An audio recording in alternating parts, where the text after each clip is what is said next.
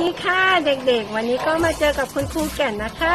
แต่เอ๊ะครูแก่นจะมีอะไรมาให้เด็กๆทำนั้น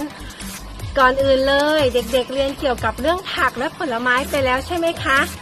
เด็กๆ รู้จักผลไม้อะไรบ้างคะ คุณครูขอทบทวนหน่อยติ๊กตอกติ๊กตอกเด็กๆ เก่งมากค่ะ มีอะไรนะ มีแอปเปิ้ลอะไรอีกคะอะไรคะ แตงโม มีอะไรอีก กล้วย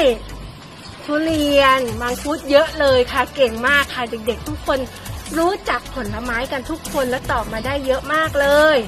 แต่ว่าวันนี้คุณครูจะพาเด็กๆ ไปทำกิจกรรม แต่ก่อนอื่นเลยเด็กๆ ไปหยิบหนังสือเล่มนี้มาเลยค่ะเอาละค่ะเมื่อเด็กๆ หยิบหนังสือมาแล้ว เด็กๆ เปิดไปที่หน้าแปดเลยนะคะ เห็นไหมคะหน้าแปด เด็กๆเห็นอะไรเอ่ย ดูนะคะ มีภาพผลไม้ใช่ไหมคะ มีแตงโม มีเงาะ มีอะไรคะ มังคุดเก่งมากค่ะ แต่ก่อนอื่นเดี๋ยวเรามาดูโจทย์ก่อนนะว่าเขาให้เด็กๆทำอะไร เด็กๆ ฟังคำสั่งนะ คุณครูจะอ่านให้ฟัง เขาบอกว่า วาดภาพต่อเติมภาพผลไม้ ให้สมบูรณ์ และระบายสีให้สวยงาม อีกรอบนะคะ วาดภาพต่อเติม ภาพผลไม้ให้สมบูรณ์ และระบายสีให้สวยงามเอาละค่ะเด็กๆดูภาพแรกนะคะ ภาพแรกเป็นภาพอะไรคะแตงโม แตงโมก็ผ่าครึ่งมาใช่ไหม เด็กๆดูนะว่า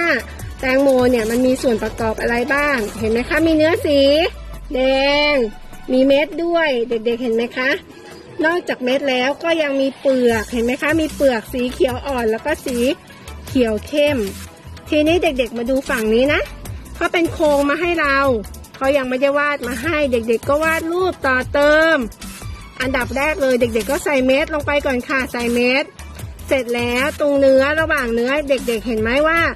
จะมีเปลือกเขียวๆตรงนี้เด็กๆก็ลากเส้นโค้งมาอีกหนึ่งเส้นนะคะ เสร็จแล้วเด็กๆก็ระบายสีให้เหมือนกับภาพนะ ว่าแตงโมสี แดงเม็ดสีดำเปลือกสีเขียว คุณครูเชื่อว่าเด็กๆทำได้คุณครูไม่วาดให้ดูนะอะเด็กๆมาดูภาพต่อไปค่ะ ภาพนี้ภาพอะไรเอ่ยภาพเงาะใช่ไหมคะ เก่งมากค่ะ เด็กๆมาดูฝั่งตรงนี้เขามีรูปร่างมาให้เหมือนเดิม แต่ว่าเงาะยังไม่สมบูรณ์ มันขาดอะไรคะ ขาดเปลือกนั่นเอง เด็กๆก็วาดนะคะ ขีดเป็นเส้นเส้นเส้นเส้นเส้นนะ ให้เต็มแล้วก็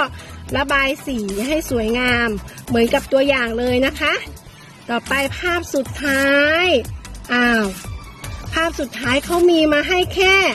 อะไรคะ มังคุดเขามีมาให้แค่ตรงขั้วมันเห็นไหมคะ มีแค่ขั้วกับตรงนี้มันขาดผลค่ะเด็กๆก็โค้งนะคะ โค้งเป็นวงกลม เด็กๆโค้งก่อนพอเด็กๆโค้งปุ๊บเด็กๆก็ระบายสีให้สวยงาม เห็นไหมคะไม่ยากเลยใช่ไหมคะ คุณครูเชื่อว่าเด็กๆทำได้นะคะเนี่ยหลังจากที่เด็กๆวาดรูปต่อเติมภาพให้คุณครูเรียบร้อยแล้ว เด็กๆก็ระบายสีให้สวยงาม เหมือนเดิมค่ะ เด็กๆอย่าลืมนะคะ ถ่ายรูปที่เด็กๆทำเสร็จแล้ว ส่งมาให้คุณครูชมใต้คลิปด้วยนะคะ